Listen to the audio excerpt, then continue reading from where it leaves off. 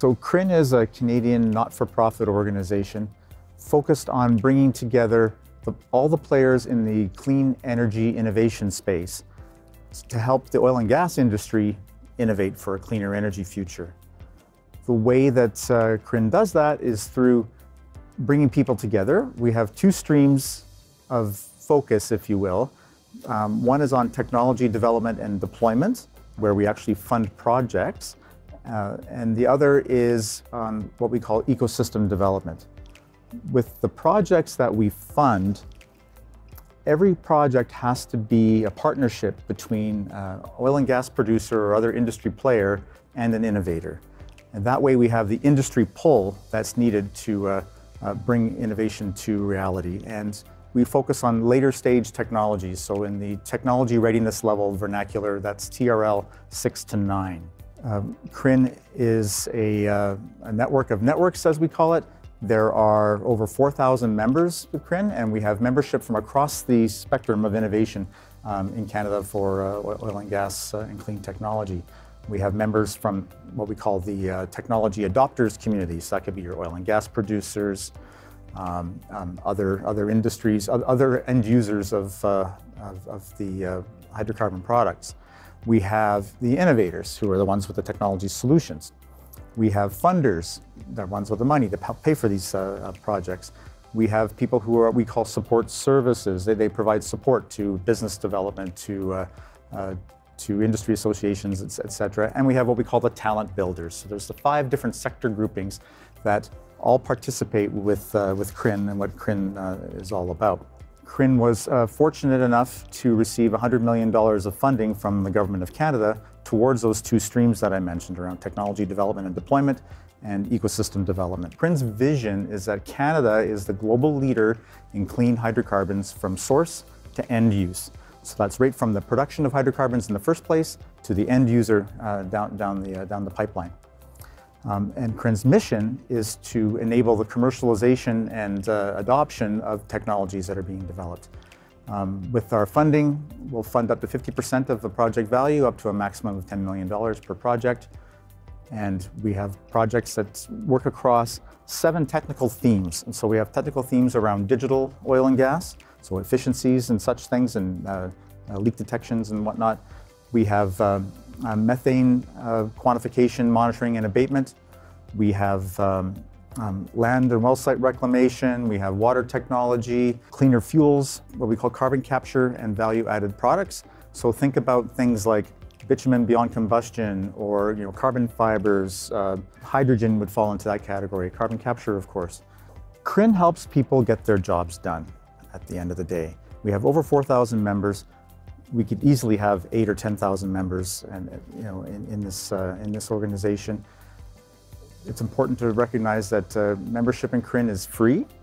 The only cost to you is um, the signing of a social contract. And our social contract essentially tells you, or you tell the world, um, that you're happy to cooperate and you're happy for other members to reach out to you so that you can be part of this ecosystem, part of the innovation, part of the change that's needed in order to achieve ambitious uh, environmental goals that we have uh, in industry.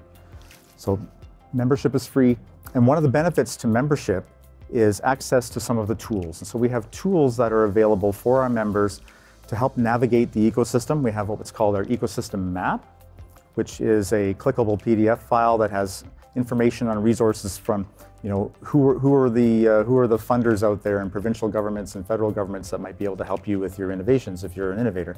Um, how do you uh, how do you get access to potential customers? Who, who are the uh, who are the support services that are out there? And th this tool is it's essentially like a Google search on steroids. You could spend all week trying to find these things, uh, doing uh, detailed searches, or you can come to CRIN, come to our ecosystem map, um, and uh, navigate that uh, as part of as part of your membership. The other tool we have, and this is very helpful for both for, for innovators, for adopters of technology, and for funders, we call it Innovation Central, and it's a place where innovators can upload information about their offerings so that funders and adopters can use it as a bit of a, a library or like a virtual Rolodex of technology. And uh, again, free for, uh, free for members to participate in. There's, there's two ways that CRIN helps, uh, helps uh, industry and innovators. And the, the one is through direct funding of projects, where for projects that meet our criteria, that, and that part of that criteria is a partnership between an industry player and an innovator, we will pay up to 50% of the costs, up to a maximum of $10 million per project. And that, that clearly is good incentive for some projects that might not otherwise uh, uh, be, uh, be developed, give them the opportunity to, to develop and, achieve the environmental goals that uh, um, we're trying to achieve. The other way CRIN supports is as part of the ecosystem and bringing, bringing people together.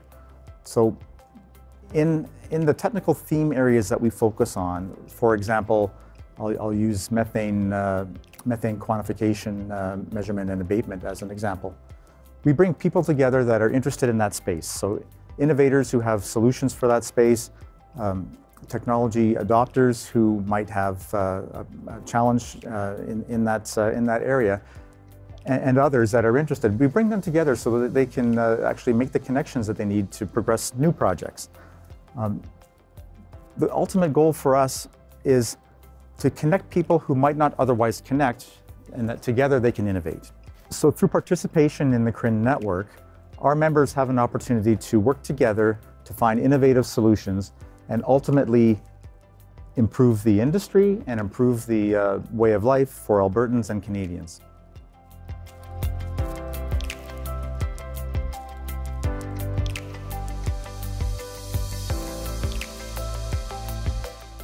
Kathairos Solutions is a clean tech company. We are a technology provider for remote well site operations, and we are in the business of removing methane from pneumatic device venting. What we are doing is on remote or unelectrified sites where grid power is hard to come by, and sometimes even when it's there, we are actuating pneumatic devices using nitrogen. Nitrogen gas is inert, non-toxic, non-polluting. It's 78% of the air that we breathe is made up of nitrogen. And what our founders and inventors did is conceive of a new way to run remote well site operations without having a power source. So our technology utilizes cryogenic product, which is liquid nitrogen, it's stored at minus 320 degrees Fahrenheit or minus 200 degrees Celsius, and it's in a proprietary cryogenic vessel. So we bring these vessels to all sorts of different remote well sites, of which there are about 500,000 across North America, that are routinely venting methane gas in their day-to-day -day well site operations. The reason they're doing so is out of convenience. They need a high pressured gas to actuate or run their pneumatic devices, valves, pumps, all sorts of different kind of operational um, instruments and tools. And in order to do so, the high pressured gas is required and they pull that out of their well site. But really, all they need is a compressed gas of any kind. So by swapping in nitrogen gas for methane gas, we're in the business of fuel switching and we are able to vent nitrogen back to air instead of venting methane to the atmosphere after it has actuated those devices. So we take remote well sites from substantial amount of overall methane uh, emissions per year or per day to zero emissions immediately by plugging in our system and uh, eliminating the need for methane gas on site.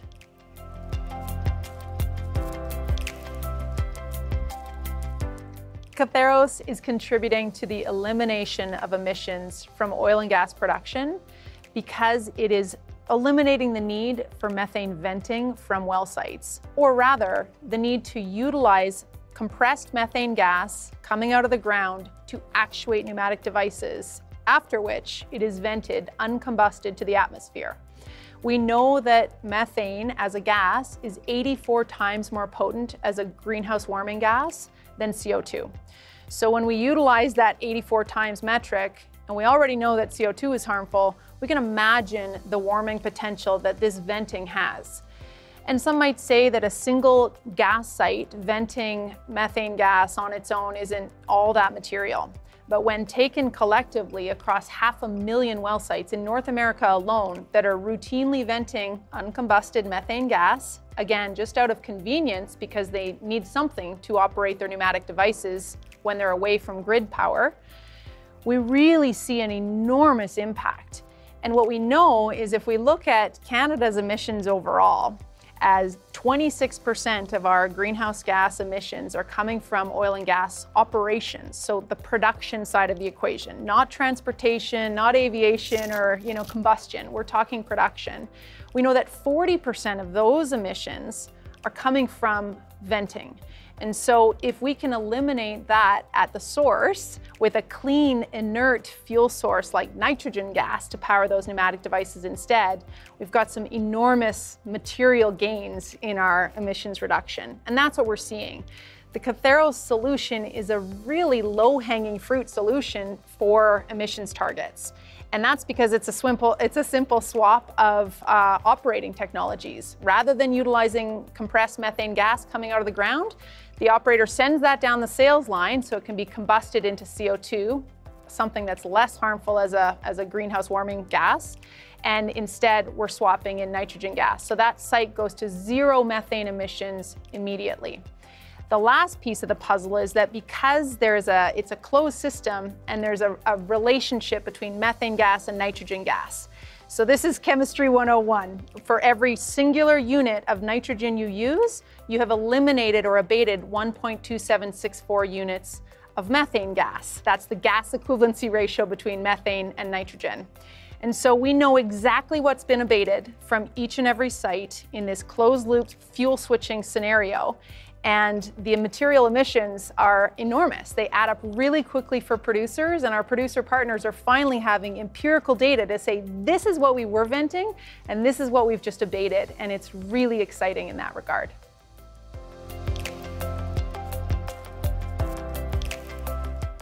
I would say um, outside of the organizations like uh, Emissions Reduction Alberta and Alberta Innovates, those networks, um, the fundamentally the best incentive that operators have been given to really um, accelerate technologies, particularly in emissions, is through the carbon offset program.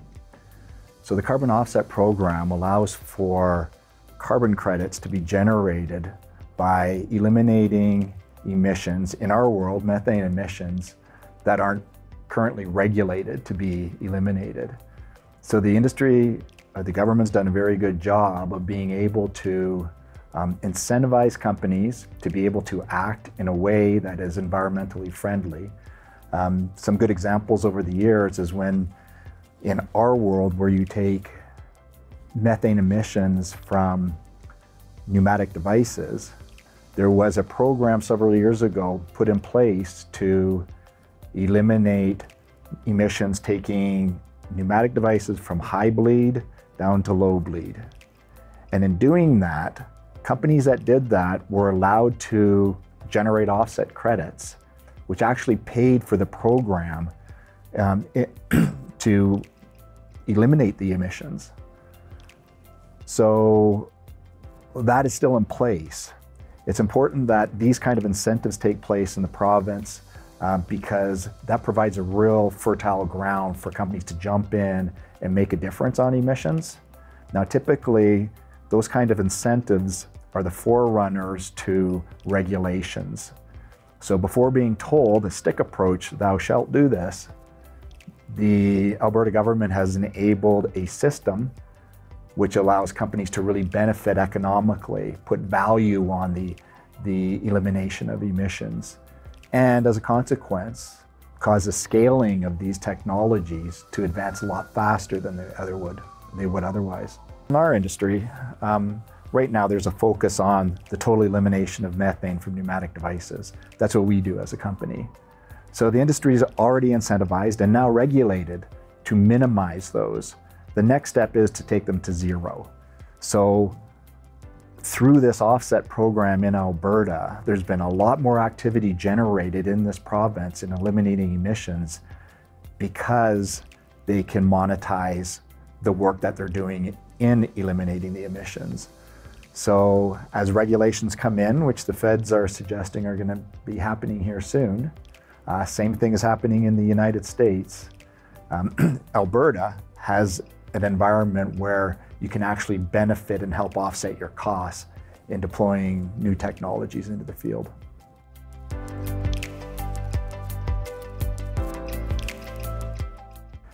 So the way that Kathairos has benefited from a uh, encouraging, beneficial provincial, federal government um, and industry associations has been pretty significant. So when you create an idea, when you come up with an idea, and then you see if it has applicability, if it's actually going to work, you need to be able to pitch the idea. And so in our world, in Alberta, when you have a new idea, there's different organizations that you can go to, and there's different entities within the governments that you can um, be supported through monetary funding basis. In our case, we originally came up with a good idea, my partner and I. We needed a company, first of all, to be able to trial it. So we had to convince an industry operator that this idea was worth trialing. Then we went to the Petroleum Technology Alliance of Canada and said, look at this great idea, can you help support us? Which they did. Through CANARIC and the federal government financing, they supported our project in getting this pilot off the ground and actually getting it operating in the field. So that was a very, very good first step. So now we have a technology that we know works. We know it's simple. We know it can scale. The next thing we need to do is demonstrate that it's not just a one-off situation, that we can go through hundreds and hundreds of these locations. In Western Canada, there's over 100,000 locations that are venting methane. And to go at them at scale, you need to have a technology that's really simple, but you need to have a distribution network and the ability to be able to execute on it. So the next phase of this kind of funding and support came from CRIN. So CRIN said, all right, we like your project. We like what your needs are, which is to be able to take your technology and apply it over a broad base of wells.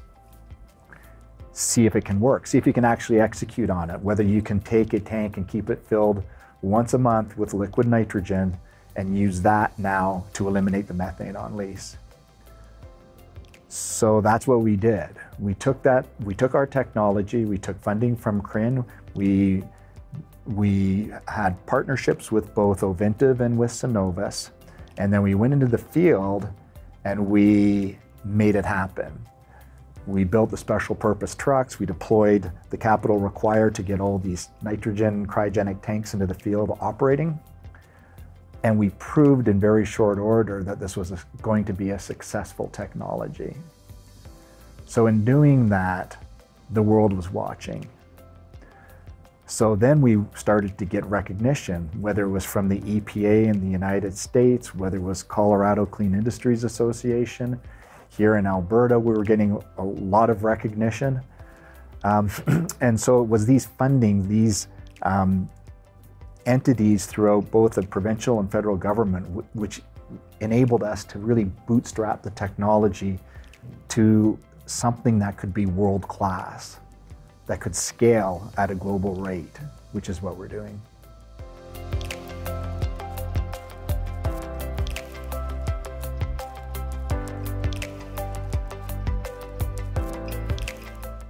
At Ekona, we are making low-cost, industrial-scale hydrogen whenever and wherever it is needed. The Ekona Excalibur reactor is a pulsed methane pyrolysis process. We inject combustion energy fuel and oxygen into the reactor, we break down the molecule of hydrocarbon into hydrogen and a solid carbon. Due to the fact that we use combustion energy for our pyrolysis process, we do not require electricity for the chemical process. Another value proposition of Ekona's technology is we are making a solid carbon, and therefore this technology is very deployable globally, where there is no access to CO2 sequestration infrastructure. We are working with several academias to test and validate the morphology of this carbon for it to be applied to the construction and agricultural industry.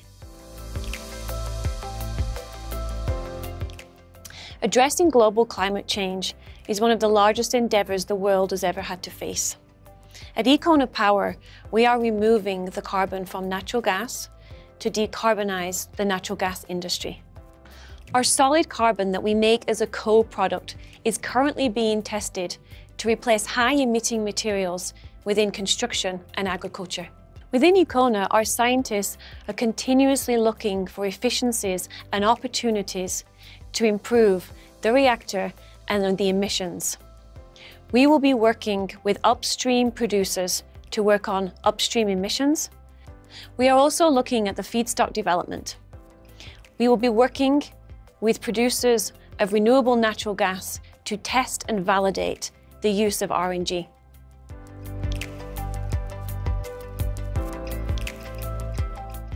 Where we see the biggest relevance of Ekona's technology on a global scale is those hard to, to decarbonise areas that do not have access to CO2 sequestration infrastructure. The ideal place for Ekona's technology is also to develop our export industry in Canada, exporting LNG to Asia and Europe, and to have Ekona's technology at the customer site to decarbonise that natural gas.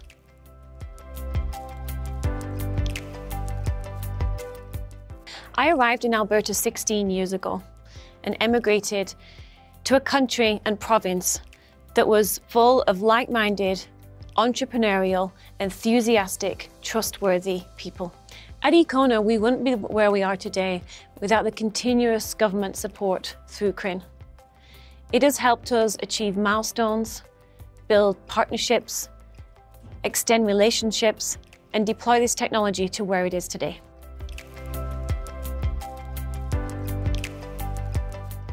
Where we see our technology evolving in the next five to 10 years is we have our 200 kilogram a day reactor in Burnaby, BC in our 10,000 square foot testing and validation facility. We are also deploying a one ton a day pilot here in Alberta. We will continue to scale this technology to meet market demands to a 20, 100 and 300 ton per day capacity.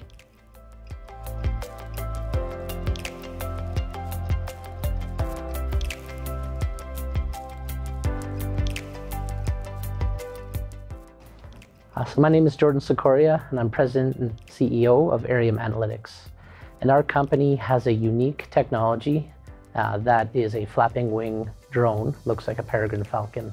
And we use it in the energy and oil sand space in order to reduce uh, bird mortalities and tailings. And our client that we work with on this project is Imperial Oil, um, but this technology doesn't just apply in the energy space, it also applies anywhere there's negative human-bird interactions. So that would be reducing bird strikes at airports.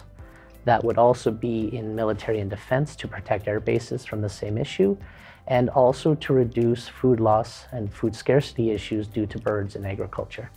Our solution's better than the current solutions because most of the current solutions out there um, involve being static and stuck in a very specific location.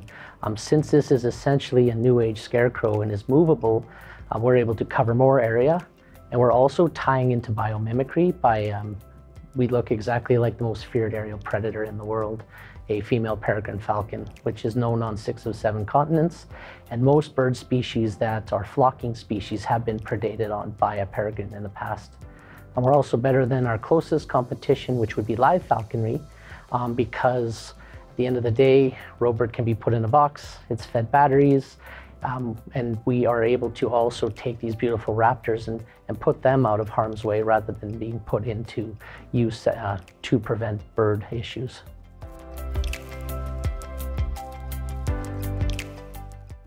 Our company promotes environmental sustainability with Robird by actually reducing bird mortalities and impacts on bird habitat. So we work strictly on biodiversity, wildlife protection, and using real life and biomimicry to move birds into safer locations rather than having them negatively impacted.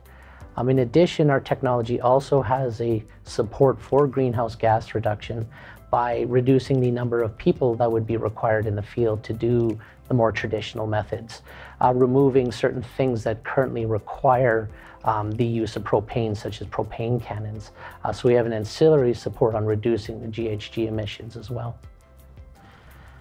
So to date, our impact in the oil sands is that we've been able to help reduce mortalities by up to 75% in some of our clients' projects, which is a huge reduction in the impact of birds in tailings management, as well as just wildlife in general.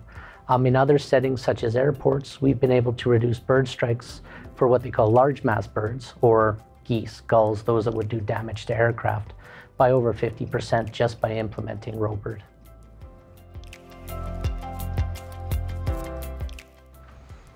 In the context of global sustainability challenges, we see ROBIRD being able to be applied on a global scale in mainly everywhere has airports, and on the agricultural side, um, it's still the same impact. So from an airport setting, negative human-bird interactions and bird strikes happen all over the world. It is a constant daily challenge.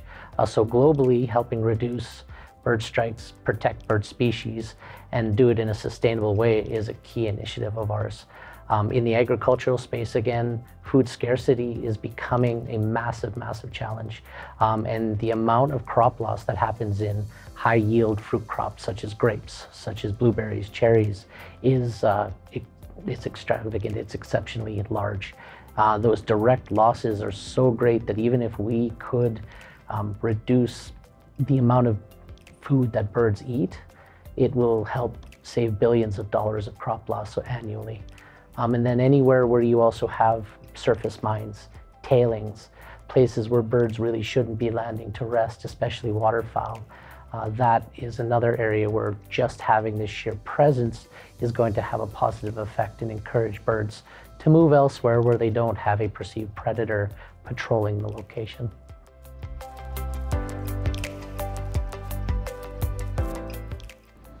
Um, we chose to have our uh, company based in Calgary because I'm a born and raised Albertan and uh, we've been here with our companies since day one. But that's not why we started it here, that's why we keep it here. And, and the other reason for that is because Alberta as a province has a very, very strong background in agriculture, has a very strong background in energy, and with that, as you grow up here, you learn about environmental sustainability. You learn about the need for resource extraction, but how to do it in a safe and protective way. And so we want our technology to add to that, to continue to enhance it, and to continue to allow us to produce some of the best energy products in the world. And in addition to that, also continue to showcase how our technologies and our experiences um, can be shared with the rest of the world. We, we have a lot of trust here. We, we work really hard with other communities and other countries uh, because we do feel that we are best in brand, and uh, I'm, I'm really proud of that. Now, the province of Alberta has been incredibly supportive as well uh, through many, many initiatives that we've worked with through everything from trade missions. In fact, that's where we started, uh, was on a trade mission in 2016 um, to find the ROBIRD technology before we brought it to Canada. And that trade mission was supported by the province of Alberta and has been instrumental in who Aerium is as a company today. Canada has supported the growth of our technology through partners like the Clean Resource Innovation Network and, and other grants as well. Um, we've been able to leverage the Trade Commissioner's Service uh, to look at this from a global perspective. But more importantly, it is a technology for Canada. So being able to apply our technology across Canada in many mining situations into the agricultural sectors, as well as protecting the airports across the entire country is a very important step for what we're doing um, and then that same aspect can be applied globally um, in many other countries who have the same challenges.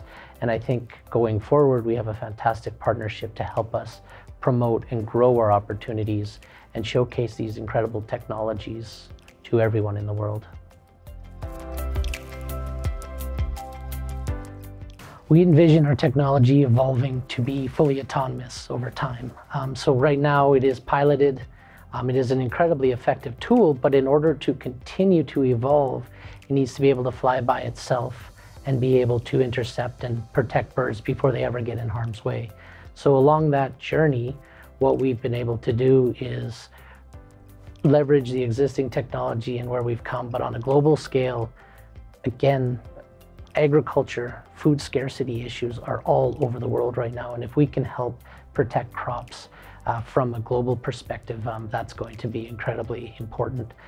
Bird strikes at airports, that regulatory and safety perspective, um, that again is another challenge that's happening all over the world. And with things like climate change, with changes to migratory bird patterns, these problems are going to continue to get worse. Um, and new technologies are going to be required on a global scale to do that. In Alberta, we see continuing to support the energy industry in reducing those negative human-bird interactions. Um, and we see the fact that, again, Alberta has an incredible amount of regulatory compliance, environmental protection, and stewardship that we already focus on, and applying that to the rest of the world with partners such as Alberta and CRIN is important to us and, and is important to where we want to be as a company.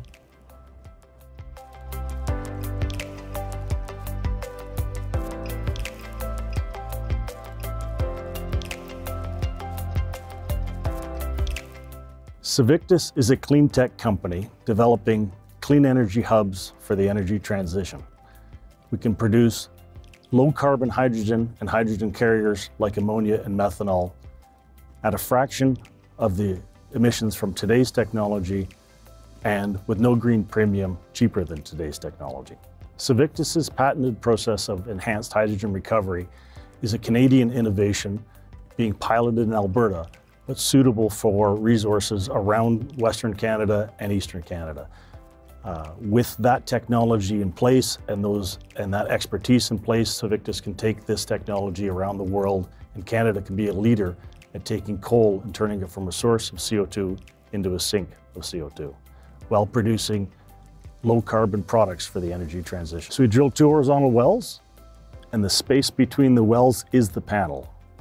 If it was a longwall mine, you would drill shafts and you would have a cutter going back and forth between, but instead of that, we use heat and we shuttle the heat back and forth between the wells. Inject oxygen, produce syngas inject oxygen, produce syngas. I switch them, and, and you use the heat of, of the partial combustion and gasification to consume the coal as you come back. So you act, it actually is a longwall mine down below. It is the same void that a longwall mine would be at the end of the day, which at the end of the day, we fill it with CO2. So we've filled the pillars of the mine, the pillars that hold the roof up, we filled those up with CO2 during operations, and then we fill the panel up with CO2 and develop another panel. And if you want to wrap your head around it, the first panel running at idle, that's our first project. Half a petajoule of energy produces seven tons a day of hydrogen. That same panel run at full throttle is five petajoules of energy goes up to 70 to 80 tons a day of hydrogen. There's no market for 80 tons a day of hydrogen today. And our plants would, would typically be configured around three panels running at the same time. So 80 tons times three, 240,000 tons of hydrogen is what you could produce if you ever had the market to sell it. Or you take that and you produce 500,000 tons of methanol which is a hydrogen carrier. Or you take the ammonia off your air separation plant, sorry, you take the, the nitrogen off your air separation plant and you mix it with the hydrogen and you make ammonia. And then on the bigger scale, you take methanol and feed it to microbes, bacteria, bacteria that get their sole source of energy and carbon out of methanol. They eat alcohol and they like a little ammonia for dessert for the nitrogen. And those single cell protein are the exact same single cell protein that ICI Imperial Chemical produced commercially till 1986 in Billingham, England. That is a proven high quality animal feed, and you're producing it without photosynthesis. And you're producing it without impacts to fresh water, and you're producing it without impacts to land deforestation or fishing all the fish out of the ocean. So the true game changer in our technology is to be able to produce energy and to produce animal feed.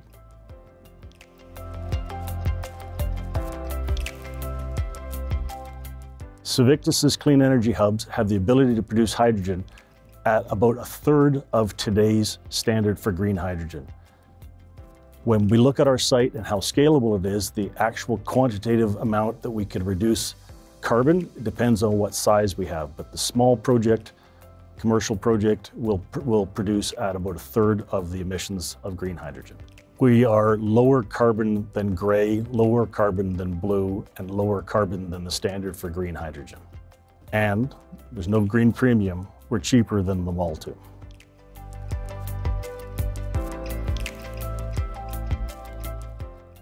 Cvictus's technology is scalable and can target energy resources around the world. We use deep stranded resources, recover the energy we need, recover the beneficial gases we want to sell, and sequester the carbon back into the same formations. This is a technology that will be first piloted in Canada, but can be used around the world, giving countries like India and China another way to use deep stranded resources without the carbon impact.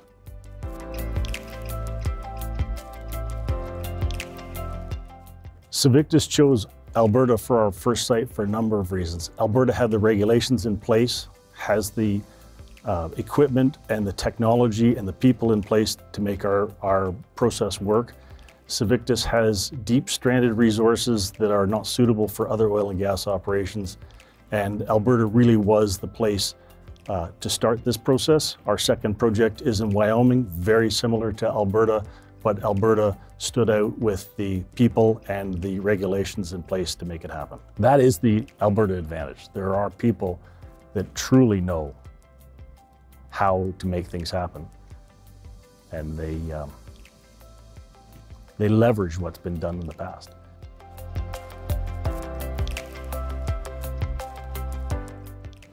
Cvictus's vision is to be the most positively impactful and profitable company on the planet. We see our technology being used around the world to provide developing countries with the energy they need to develop and the place they need to sequester the carbon on site. We see stranded resources around the world being used in a different way, a paradigm shift, changing the way we use the resource and the way we sequester carbon. We don't need uh, a government supplied carbon trunk line. We put the carbon dioxide back into the ground underneath the plant in the same formation. Cvictus's technology is massively scalable around the world we can build plants from seven ton a day to 80 ton a day to multiples of 80 ton a day of, of hydrogen, as an example. We are scalable, we are globally um, deployable, and uh, we can be the most positively impact company on the planet by producing low carbon products for the hydrogen economy.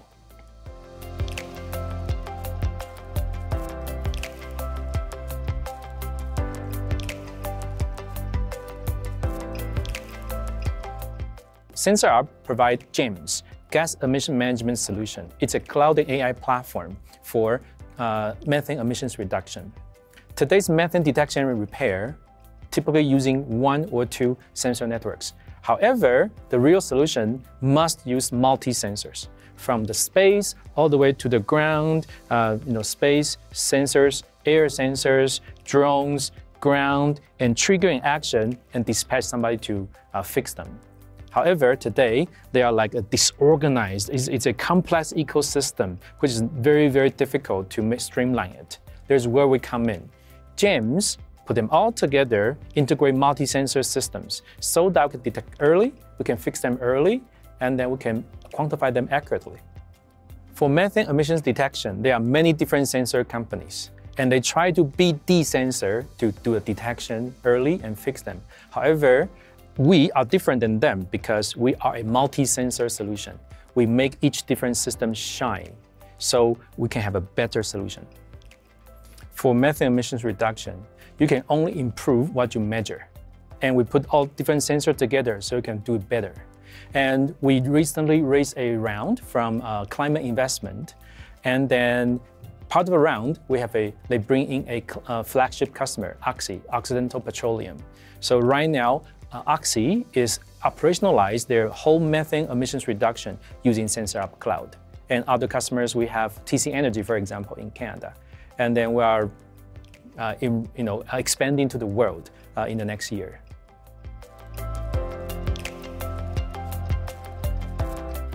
So for example, one day, our customers, their ground sensor detect methane emissions early. And two hours later, their fly sensor detected the methane emissions as well. And then by combining all together, we can use the most accurate reading from these two sensor systems because they never agree with each other. However, we can also know the start time of the mission. So instead of, you know, uh, using six months back as the quantification time, the T start, and we can use two hours. In this way, we are able to detect early and then we can repair them early because we know the root cause. In this case, we can prevent unnecessary trips, and that's operational excellence.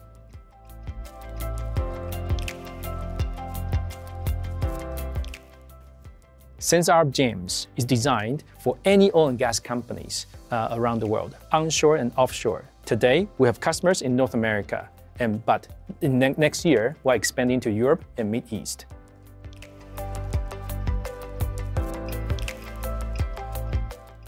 Alberta is one of the best places in the world to start a clean tech, uh, high tech company. One, number one, we have the industry to support it, the oil and gas industry. Number two, we have the regulation to help us innovate within the regulation. And number three is the ecosystem is great. We have great talent in both cities.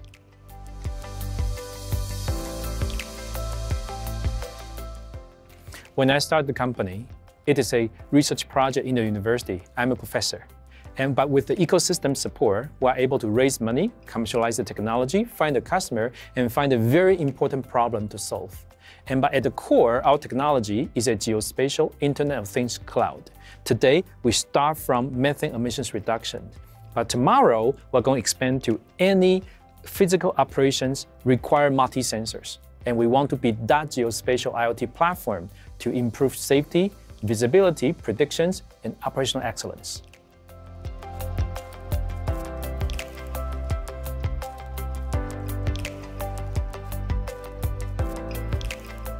My name is Andrea Crook, and I'm the CEO and co-founder of OptiSeis, a company specializing in high-resolution subsurface imaging and analytics. We are, in one space, a startup in the, the innovation space, but on the other hand, we've also been in business since 2011. So uh, we didn't start out as uh, technology developers. Uh, we started out to provide uh, high-end consulting services for oil and gas clients. Um, I began my career at Shell Canada uh, as a processor and in seismic acquisition. And um, we, as, as, industry changed, we noticed that a lot of the work that was done in these large corporations, um, smaller and mid-sized companies would benefit from it. So as industry changed, uh, myself and uh, my co-founder decided to start a company to provide effectively the um, the technology and the opportunities that large corporations have internally to a, a broader audience here in Canada. Uh, interestingly, as we developed our, our consultancy, uh, we found that many of the off-the-shelf software products um, just weren't being developed in the direction that we wanted to go with, with innovation. So we started coding our own algorithms uh, to make our jobs easier. And uh, when clients saw the, the benefit of the software that we were using internally, they began to ask if they could get copies of it, and uh, we started selling it.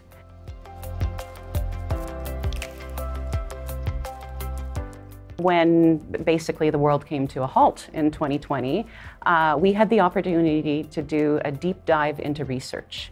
And that's when we reached out to Alberta Innovates uh, for funding to sponsor the research. And they introduced us to COSIA. Um, and we had five companies come on board to sponsor a project to look into ways to reduce the land footprint of acquiring subsurface images. Uh, our goal with the original project was to reduce the number of trees cut by 35% and potentially reduce some of the emissions associated with having equipment in the field. Um, but as the prog uh, project progressed, uh, we actually achieved a 50% reduction. And, and given that success uh, in, the, in the desktop studies, we then went to the Clean Resource Innovation Network, as well as um, IRAP, which is the, the Industrial Research Assistance Program, for funding to go to the field and conduct uh, a field study of our EcoSeis technology. Uh, we were successful in securing nearly 7 million in non-dilutive funding to, to conduct uh, the field trials. We acquired the first data set last winter and are in the process of evaluating it. And we did reduce uh, the land footprint by 52%. And uh, preliminary emissions reduction calculations show that we're able to reduce the emissions by, by 25%. So uh, we're very excited about the potential of this technology although we've tested it in uh, oil and gas for, for reducing the emissions associated with oil sands production, it's equally applicable to carbon capture, uh, lithium, uh, helium, hydrogen exploration, um, as well as nuclear waste management.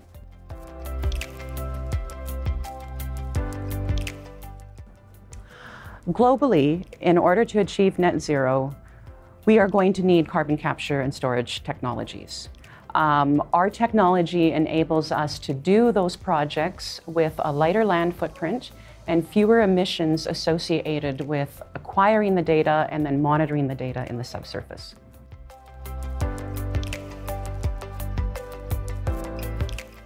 The pace of growth in our company has greatly been influenced by the support we've received from the, the innovation ecosystem.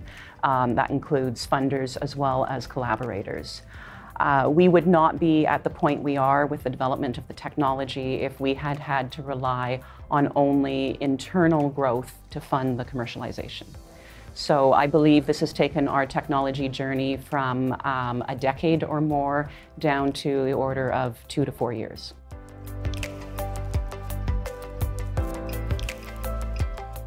In the carbon capture and storage space, uh, we are looking at running some technology trials next year to fully validate the time-lapse aspect of EcoSeis. And then looking beyond further into the future, we are getting interest in the technology both in South America, Australia, and the US uh, for use in the traditional energy sectors to reduce their environmental footprint, but also moving into emerging sectors such as critical mineral exploration.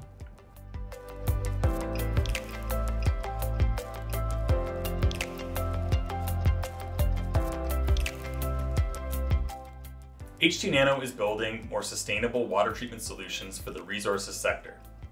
We started with the question of whether we could build a more passive, economical, and sustainable solution that integrated well with the remediation landscape for energy and mining operations here in Canada.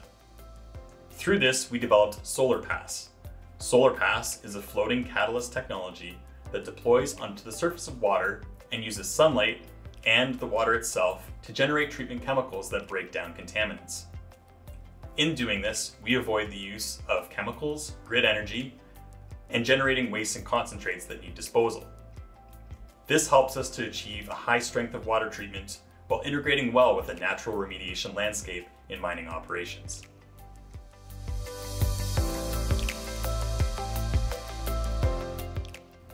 H2 Nano's technologies are contributing to a more sustainable resources sector by reducing the emissions and energy required for water treatment, while producing water that is more productive for reuse and safer for eventual return to the environment. Through the Clean Resources Innovation Network program, we're working with partners in Canada's oil sands to test solar SolarPass as a solution for treating the over 500 million cubic meters of water that are currently stored in mining operations.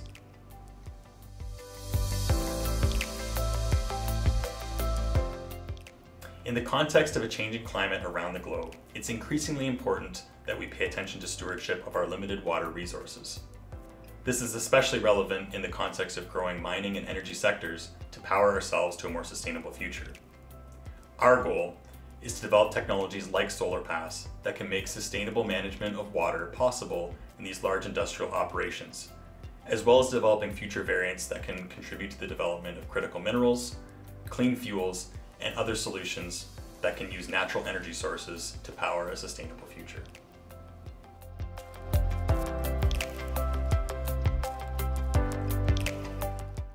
SolarPass is a built-in Canada technology solving one of Canada's major water treatment challenges. And we've done so with support from across the country. From the first days at the University of Waterloo and the Velocity Incubator, taking an initial invention and idea from the bench scale and building a business around that opportunity. And that was done with initial call for proposals from Canada's Oil Sands Innovation Alliance, COSIA, and support from those mine operators in developing the technology from initial proof of concept to the current application of that technology in the field. And Canada has been aggressive in investing in developing these technologies in the clean tech sector through buy-in from the provincial and federal levels, Alberta Innovates, the Clean Resource Innovation Network, all putting public dollars and support behind building new clean tech that can support Canadian resource development as well as across the world.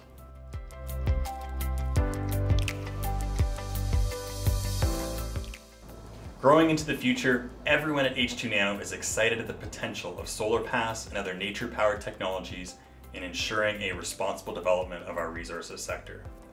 Our goal is to have our technologies on every continent in mining, energy, agriculture, and other remediation applications to ensure the protection of that critical water resource that we depend on every day and to improve its reuse.